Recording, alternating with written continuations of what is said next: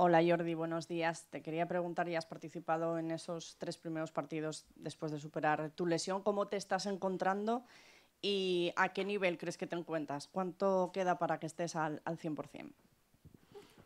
Hola, ¿qué tal? Buenas tardes.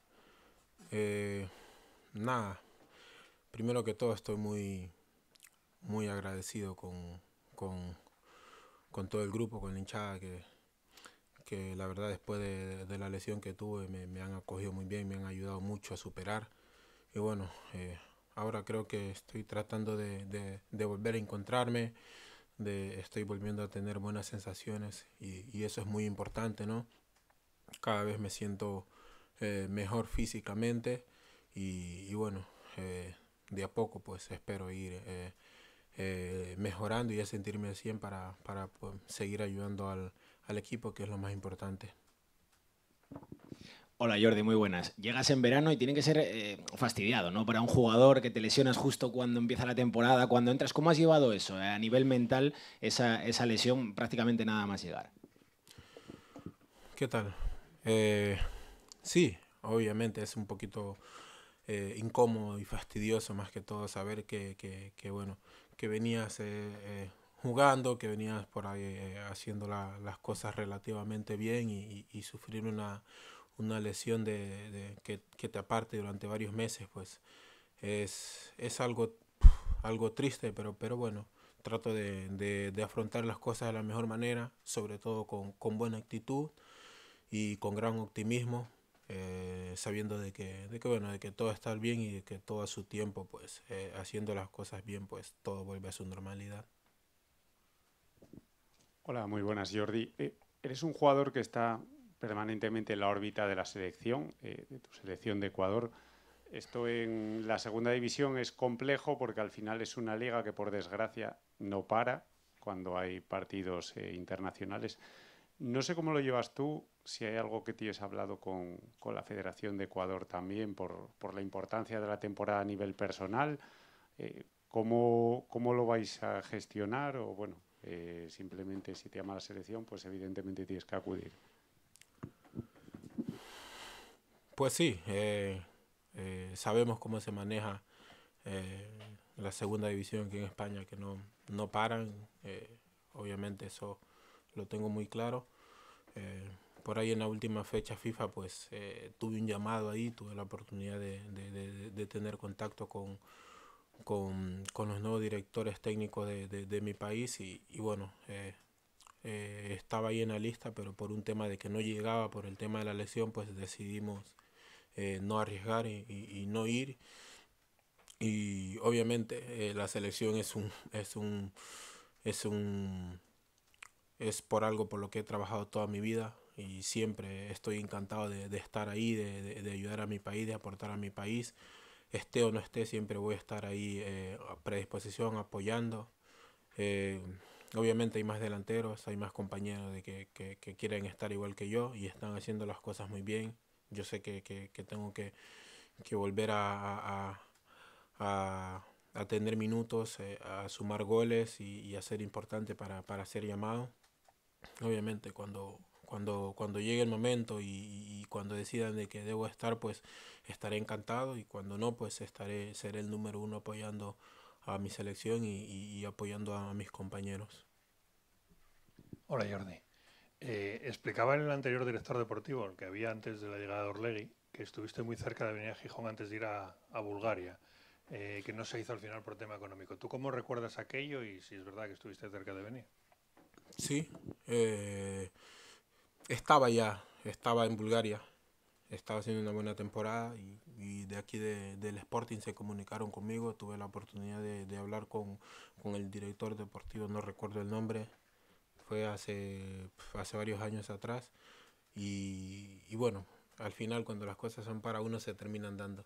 No llegué por un tema, como dices, por un tema por ahí de, eh, me, me imagino que económico, ahí pues ese SK era el, el que tomaba la última decisión y pues tal vez por eso no, no llegara a un acuerdo, pero sí estaba, estaba encantado de venir también. Y ahora que ya estoy acá, pues estoy más encantado de, estar aquí y espero poder ayudar al equipo, como te dije, sumando eh, desde tanto fuera como dentro del campo. Muy buenas, Jordi. Eh, estamos viendo un Sporting con delanteros bastante móviles. Tu perfil es un poco más delantero centro, de descarga, de bajar balones. ¿Cómo te estás viendo en el esquema de Rubén Alves? ¿Qué tal? Eh, pues sí, yo trato de adaptarme. Trato de, adaptarme a lo que lo que quiere, lo que pide el míster y a lo que y a lo que pide por ahí el juego. Obviamente puedo puedo puedo ir al espacio, como puedo quedarme de nueve, como como dices, eh, por ahí eh, siendo un jugador de más de, de, de, de, de aguantar, de, hacer jugar ahí a mis compañeros, pues eh, gracias a Dios tengo la, las dos características, tanto como para ir a, al espacio en determinados tiempos, como para eh, dar un soporte a mis compañeros en, en, en, en, el campo ahí arriba, aguantando las centrales.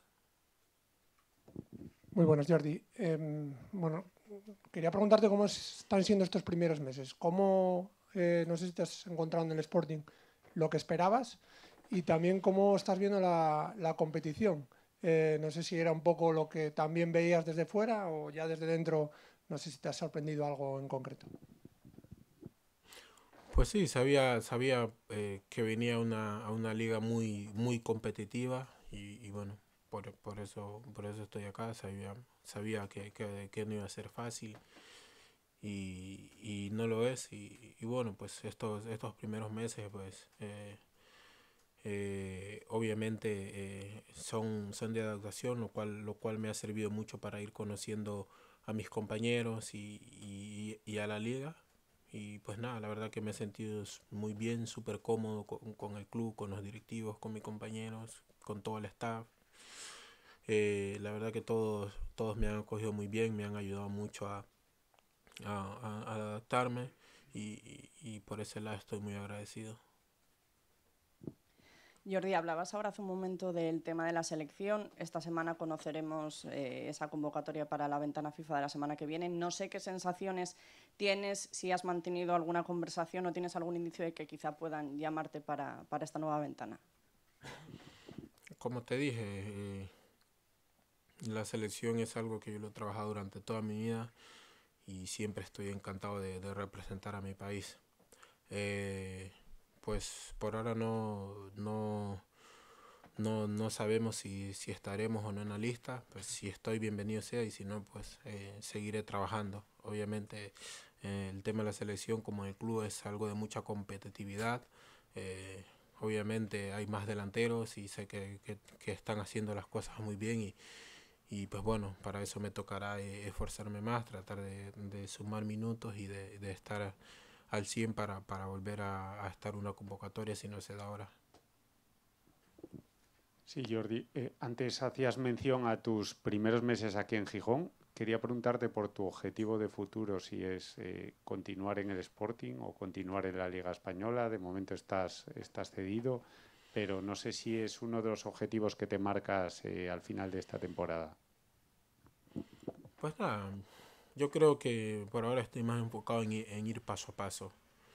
En, ir paso a paso, en, ganarme un puesto, en, sumar más minutos, en, ayudar al equipo, eh, tanto con goles como, como eh, en, lo que, en lo que pida el, míster.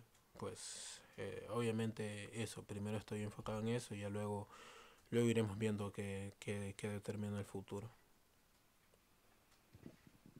Jordi, eres delantero centro en un club como el Sporting, que la semana pasada inauguraba la estatua de Kini, que ha sido un icono eh, y un delantero de centro referencia en España. No sé si conoces algo de, de, Kini y si has tenido oportunidad de ver ya la estatua. Eh, pues obviamente sé que, que, que es un, un, ídolo para, para todo para toda la, la, hinchada del Sporting y para toda su gente. Eh, no, no he tenido la oportunidad de, de ver la estatua, pero obviamente es un, referente para todos nosotros los delanteros. Eh, obviamente eh, algún día llegar a, a, a, hacer lo que hizo él, pues sería fantástico. Pero bueno, obviamente eso es con, con mucho trabajo y mucho sacrificio que, que toca hacer.